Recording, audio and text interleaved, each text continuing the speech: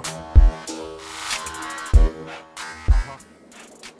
Hey, what's going on? Keith here from Sports Vibes TV, and things are getting weirder and weirder as we get closer to the trade deadline.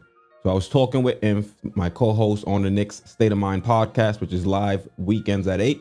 And we were talking about potentially going to the game on Tuesday when Brick Brook and the Wizards come in to face the New York Knicks. And he was telling me, yo, there's a rumor out right now that the Knicks may be looking to acquire Myles Turner. And I went online and he was telling the truth. Let me show you guys. I have no idea why the Knicks would be trying to pursue Myles Turner. Like I dropped the previous video talking about us potentially going after Andre Drummond.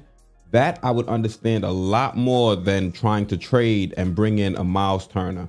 We already have Mitchell Robinson. Myles Turner is a decent, is a pretty good shot blocker. I think he's averaging 3.4 blocks uh, so far this season. But I think, you know, what he may add offensively, he's not as disruptive, I think, as Mitchell Robinson. They both get blocks, but Mitchell Robinson, I think, plays the passing lanes a lot better than a Myles Turner. And also, you could say Myles Turner, he has that outside shot. But as you, if, if you look at his stats, his three point percentage has regressed over the last three seasons. I think he shot somewhere near 38% uh, two years ago. And now he's shooting right around 31%, 30%. So I think with his shooting, yes, he's at least taking shots, but I don't know if him shooting 31% for us at the center position is really going to make us that much better. Honestly, between Myles Turner and Andre Drummond, I think Andre Drummond would be by far the best option because one, you're going to be going after him on the buyout market, and all it's going to cost you is cap space. If we go after Myles Turner, it's going to cost us some kind of draft picks it's going to cost us some kind of players.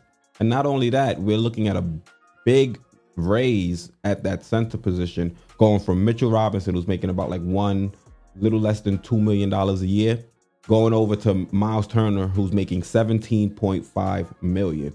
I don't think Myles Turner makes us that much better of a team. I don't think Myles Turner makes us a better team than if we were to go and sign Andre Drummond, just off the fact that we'd have to give up assets for a Myles Turner. So let me know what you think down in the comments. Do you think Myles Turner would be a, a, good acquisition for the Knicks? I'm sitting here trying to figure out what they're trying to do as we get closer to the trade deadline. Are teams just throwing the Knicks' name in there to try to get more from other competing teams? Maybe, but right now we're focusing on areas that aren't our biggest need, aren't our biggest priority. Our biggest priority right now, point guard and small forward because we're going to get Mitchell Robinson back at some point, and I think the center tandem of Mitch and Nerlens Noel will suffice with where the Knicks are right now in their trajectory.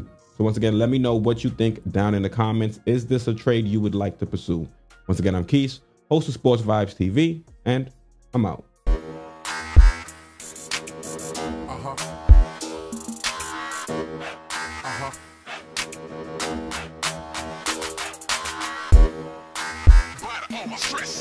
Uh-huh.